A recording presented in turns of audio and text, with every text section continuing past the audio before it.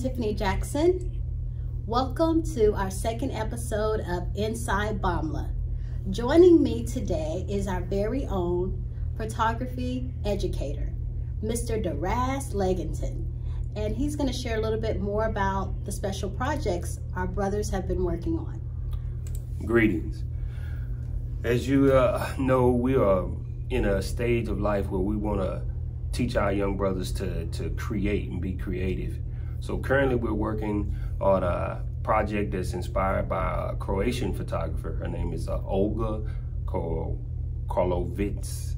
And she's um, an amazing photographer. She has made her money on creating images that are blurred.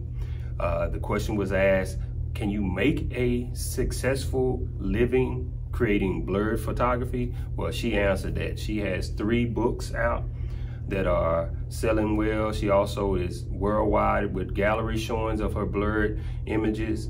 And she wanted to create this bridge that uh, from impressionistic painting and bring that into photography, which is amazing because you can take out the details and, and give it a dreamy like effect as you do in impressionistic paintings and you bring that to photography. And these brothers are getting out there and they're trying new techniques that they probably never would have experienced.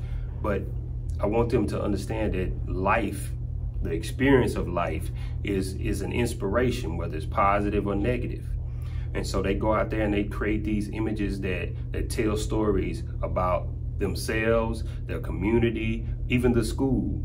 And I think that is um, is amazing for those brothers to experience that. Uh, we're also doing, we just completed that project and we're going into like a little spin-off of that project, which is light painting. It's something different. Um, it's definitely taking over. Uh, it's filling all the TikToks, the reels, all the social media that the brothers, they interact with. It's something that they see on a regular basis. So we're taking that and uh, just trained two brothers that will be doing the demonstrations and they are amazing as well. So they, they're learning a lot. The brothers are even getting, so it's exciting to me because the brothers are even starting to buy their own cameras because they want to experience that life.